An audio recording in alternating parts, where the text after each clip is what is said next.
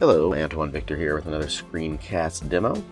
Uh, in this demo, we are going to use Team Foundation Services to configure a gated check-in to restrict developers from checking in bad code that does not build successfully or pass the tests successfully.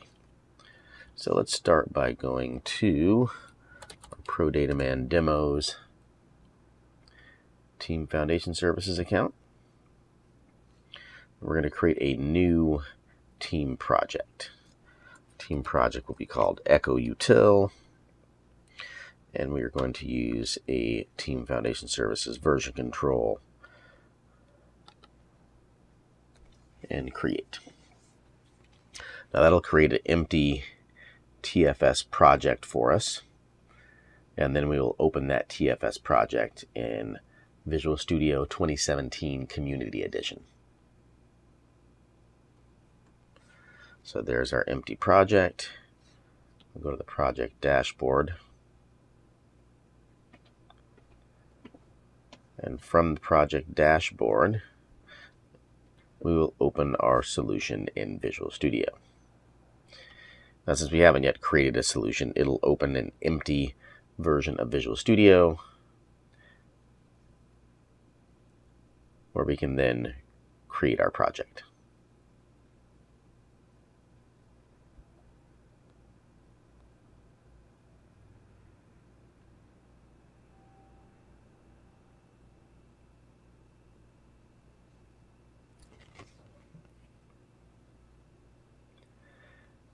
Now we have our project open in Visual Studio. We'll configure our workspace. It's going to map to uh, C users Antoine source workspaces echo util. That default looks fine to me, so we'll map and get our solution. Now, if we'd already had code in there, map and get would have pulled the code down that we have in our repository. But since we just created our um, repository, there's nothing in it. So we're going to create a new project. And our new project is going to be a simple test project. And we'll call it Echo Test in the Echo Utility solution.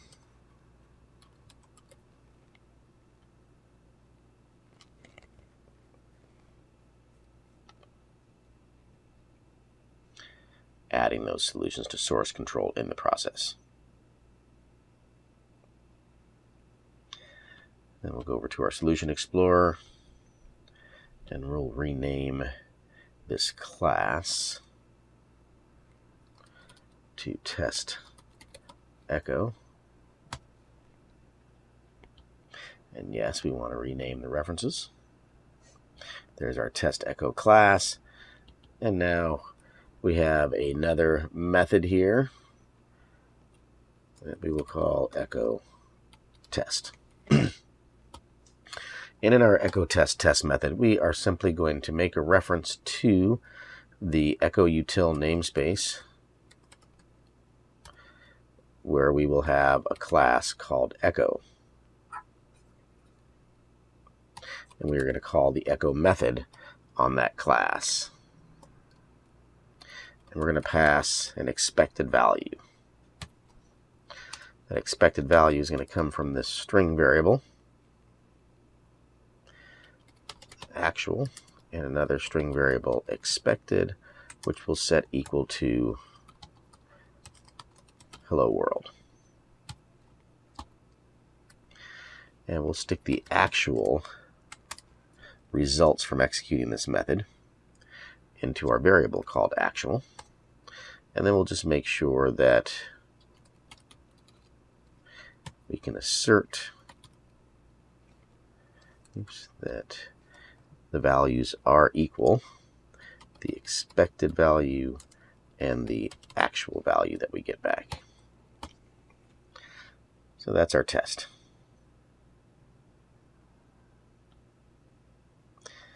Now we are going to attempt to use the code generation tools here to create a new class, which most likely is not going to work here because we don't have another project. So in order to create this echo util echo class with the echo method, we have to create minimal project structure. That means that we have to at least create the project that we're referencing here. In this case, that's going to be a Windows Classic Desktop class library project that we will call Echo Utility. Set the default lo location. And from our echo test, we are going to make a reference to the echo utility project that we just created so that our test knows where the solution under test is located. Now that should give us the ability to go back here to our test class and our echo test method and then use the generate new type dialog box to create our new echo class in our Echo Utility project. Ah.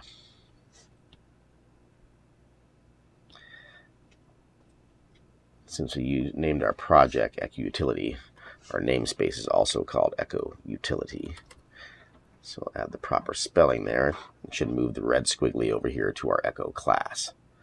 Now we can use the generate new type and generate our new class Echo, not in our Echo test project, but in our Echo utility project. We're going to have it create a new file called echo.cs, where we will then add our Echo method.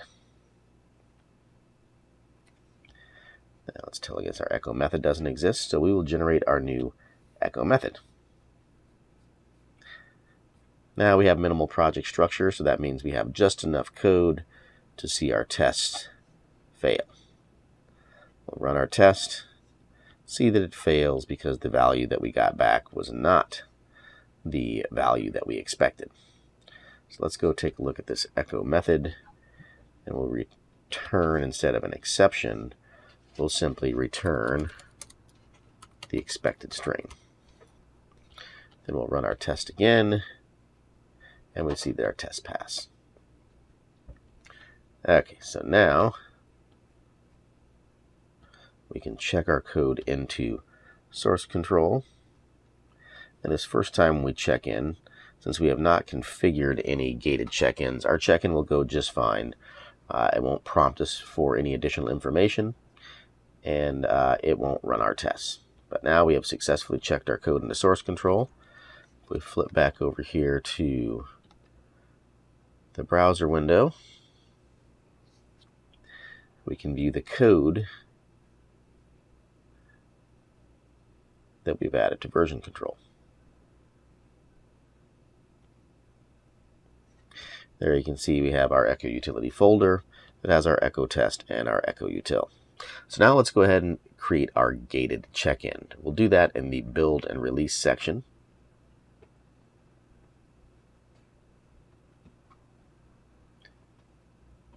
In the build and release section, we'll create a new build definition.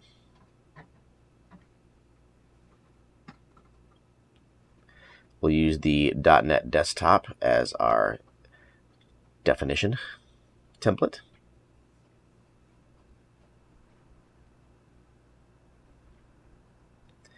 And we'll tell it to use a hosted build server. Actually, we can do a hosted build server for 2017. That's all we're really going to change here.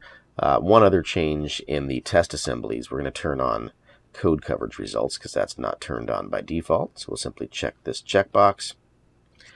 And then we have to tell it to build automatically. So we're going to set up a trigger. And we're going to tell it to enable the continuous integration trigger, but also to enable gated check-ins. Now again, gated check-ins means accept the check-ins only if the submitted changes merge and build successfully. In addition to that, they make sure that our tests run successfully as well.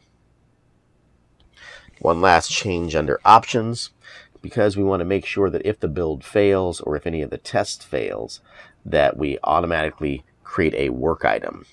So create work item on failure is the feature that we're going to turn on. And we're going to have it create a bug and assign the bug to the person that requested this build, uh, which is also the person that tried to commit these changes to source control.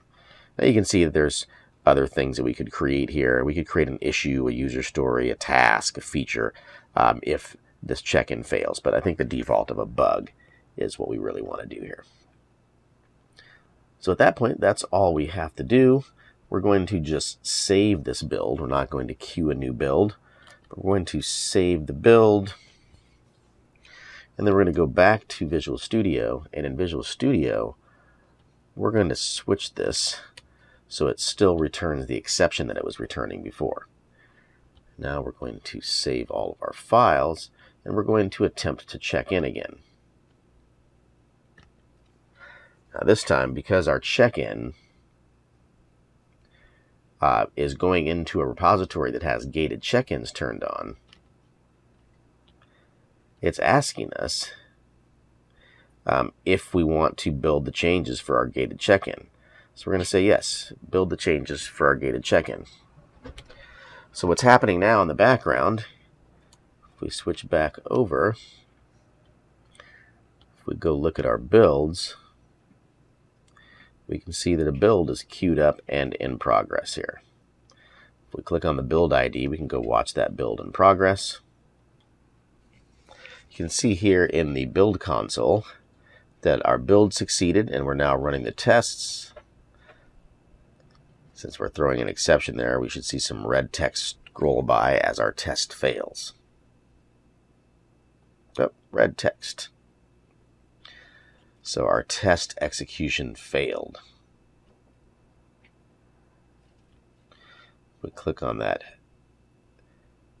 test piece.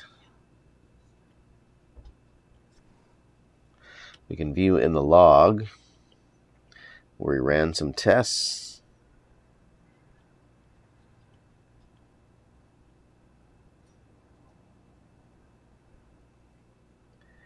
And we had echo test run here.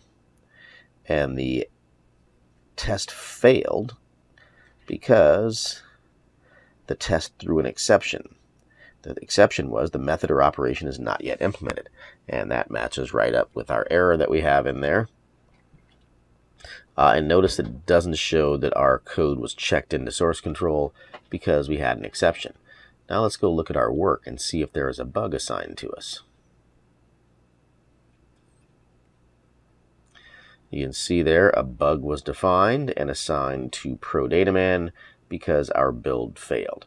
Now, by the way, um, if we were to go and check our ProDataMan email, we would also notice that an email has been forwarded to us notifying us that our build has failed. So now let's go back to Visual Studio and we will fix our echo method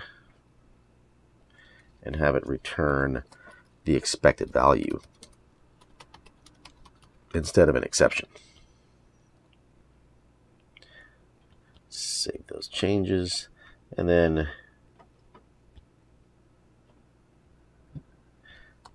check our code into source control.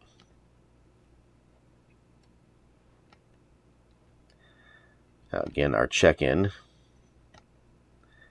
will prompt us to build our changes. We need to build our changes uh, for validation before they can be committed to the Team Foundation server. So go ahead and build our changes for us. And this time, let's go look in the Team Explorer. We'll go to Home, and we'll look at the builds here in Team Explorer. You can see our last build failed two minutes ago, and our new build, a gated check-in, is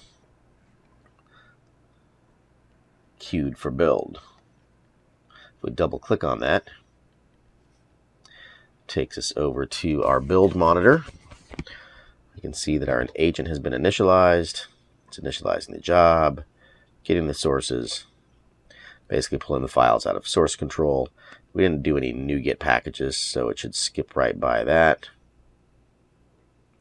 and then build our solution.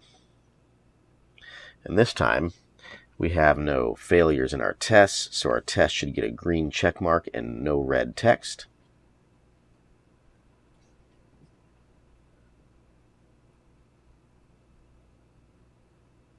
There we go, all green test, text. Our test succeeded. And the last step here that we didn't get before is finalizing the build, check in gated changes. So our changes actually got checked into source control that time because our build was successful. So this concludes our demo of the gated check-in in Team Foundation Services to restrict developers from checking in code that does not pass the tests uh, or does not build successfully. Thanks for watching.